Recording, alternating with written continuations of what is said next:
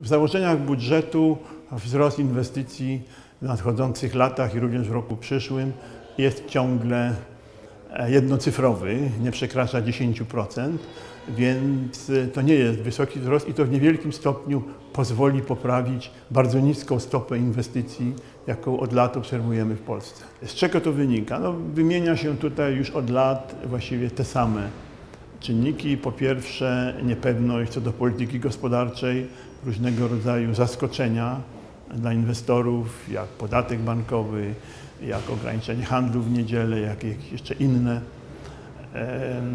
parametry, które utrudniają działalność gospodarczą. E, I, I tutaj się nic nie zmieniło, ale doszedł drugi czynnik, który nie spodziewaliśmy się, że tak szybko nastąpi, mianowicie gwałtowne pogorszenie się sytuacji na rynku pracy, jeśli chodzi o możliwość zatrudniania ludzi.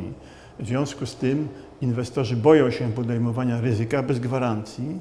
Po pierwsze, że wykonają tę inwestycję, a po drugie, kiedy już ją wykonają, że znajdzie ten inwestor ludzi do pracy w swoim nowym przedsiębiorstwie czy nowym przedsięwzięciu. Więc to są te czynniki. Natomiast wiara rządu w to, że skoro przedsiębiorstwa trzymają na lokatach w tej chwili już około 250 miliardów złotych, że przedsiębiorcy przeznaczą te pieniądze na inwestycje, właściwie się nie, nie realizuje e, z prostego powodu.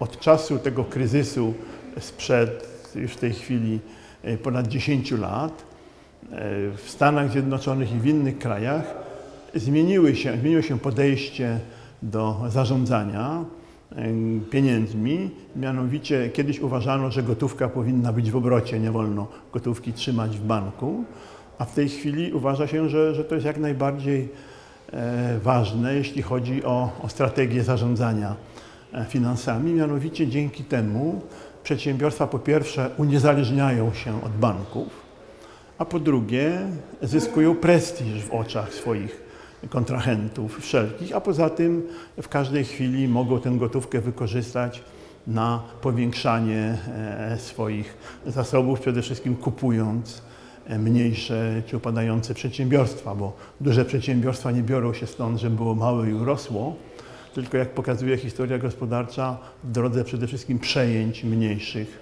e, przedsiębiorstw. Więc e, nie ma co liczyć na to, że te pieniądze e, w kwocie około 250 miliardów złotych będą przeznaczone na inwestycje, ale warto przypomnieć, że roczne inwestycje w ubiegłym roku w Polsce to było e, w rachunkach narodowych 350 miliardów złotych. Więc widać, że tutaj mamy z tym problem taki, że przedsiębiorstwa, jeżeli już inwestują, to, to czy wolą to robić z kredytów, czy w jakiś inny sposób w leasingu, natomiast w niewielkim stopniu mm, zmniejszają przez te inwestycje swoje zasoby gotówkowe w banku, wręcz je powiększają.